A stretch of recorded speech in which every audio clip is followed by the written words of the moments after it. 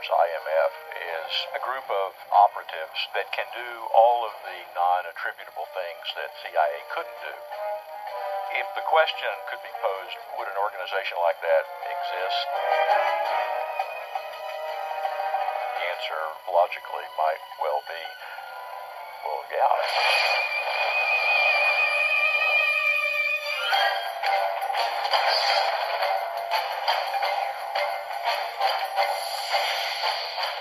To, when I was young, literally uh, sat every Friday night and watched uh, Mission Impossible. The match lit the fuse and theme music kicked in, and you were in for an hour of great excitement. And it actually had a bearing on my interest in joining CIA. I always liked the fact that they went through the list of photographs and picked out who was going to be the special IMF team of the week. And that team always worked together when operations officers like myself are in the field, it is not unusual for us to function alone. It is also not unusual for us to function in a team. And sometimes that team is made up of people who are brought together just for that mission. The skills that make a good intelligence agent include the obvious in terms of language and geographic specialization. Probably the characteristic that makes an outstanding intelligence agent is their dedication and their heart. Intelligence personnel in special intelligence operations go through amazing hardships, the demands that are placed on them personally, emotionally, physically. 1,000, 2,000, 3,000! You need the best of the best. We want to think of covert operations in two broad categories. One is a set of operations designed to gather information. The other set then is covert action or efforts to influence the politics or behavior of a foreign country. Maybe you have dictatorship. We might be the ones to actually go help train and support an insurgency to overthrow some type of uh, system that we didn't want to see in place. The most successful big operation was getting the Soviet Union out of Afghanistan. Big operation, probably a billion dollars over 10 years. Then we called them freedom fighters. Later, much of it turned out to be the Taliban. So uh, every success has its price. We did have a series of efforts into the 1960s to try and assassinate Fidel Castro. Those involved a variety of gadgets. At one point, they tried to put a toxin in his scuba diving suit. In another case, they used some substance that they thought might make his beard fall out, thinking that his beard was the key to his uh, popularity, part of his machismo. Is art imitating life or life imitating art? The ability to do a quick mix on a high explosives and put it to use is remarkably real. Stick a gun, right? No. No. Red light, green light. Come up against a lock you can't pick, you mash them together.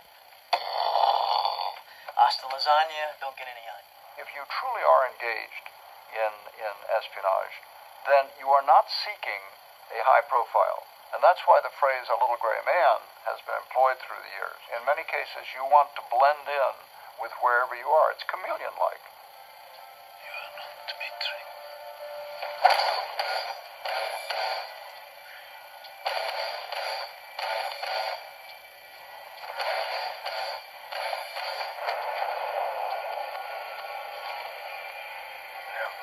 As far as the technology that goes into the art of disguise and deception, it has been, I think, no holds barred.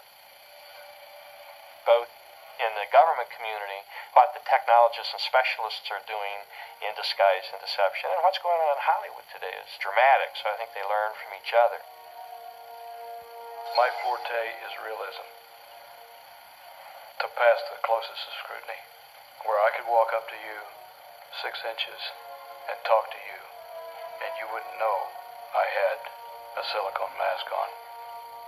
You are constantly playing a role. You are living in alias. You are projecting a persona, speaking languages, uh, exhibiting cultural traits that are totally alien to your own U.S. indigenous upbringing. And you have to be absolutely able to get in and rub shoulders with terrorists, drug traffickers, and all sorts of other criminal people. Unlike an actor who flubs up on a script and the director says cut, and they reload the camera and you look at the script and you try it again. If we mess up our lines and somebody says cut, They're talking about your carotid artery. My team is dead! Jesus. Golitsyn's gone. They knew we were coming, man. They knew we were coming, and the disc is gone. Are you intact? The disc is gone. Did you do you read me? The list is in the open! Companies, most of them created companies, are increasingly used by agents, by that is by CIA agents who are out trying to gather information or recruit spies, but rather than have the typical official cover, posing as a diplomat, they now use what's called non-official cover. They're what's called NOCs, and will operate as a business person doing business in a particular part of the world. The man you're looking at is Alexander Golitsyn, an attaché at our embassy in Prague. He is also a traitor. He has stolen one half of the CIA NOC list, a record of all our deep cover agents working in Eastern Europe. There have been past circumstances where there have been compromises. The identity has become known, networks have been rolled up, and those assets, almost without exception, have paid an ultimate price with their lives. It's among the most closely held information. We've been debating the Valerie Plame case in the United States. It does mean that people's lives can be at stake potentially. You're not just talking about one person, but you're talking about hundreds of people. Anybody that person's ever done business with, to include cover companies and those type of things, that could become a real problem and a threat to national security. Protecting special intelligence assets is a significant issue because, number one, if you fail and it becomes known, then you're going to find it very difficult to recruit assets in the future and to collaborate with other partners in the intelligence business. Simple game. Four players. Exfil opens the pocket. CyberOps lifts the wall. Bank. IMF mainframe. Where exactly? In Langley.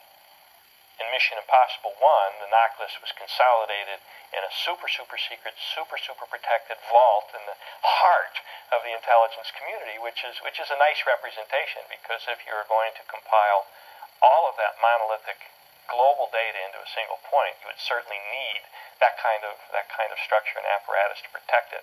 Inside CIA headquarters at Langley. Is he serious? Always. Often the term bigot list is used to refer to information which only certain people can see. And so it is, it is typical in intelligence agencies to have information that is that only a few people are privy to. People always want to ask, what's it like? Did you have to race through town, leaving explosions in the rearview mirror of your Aston Martin?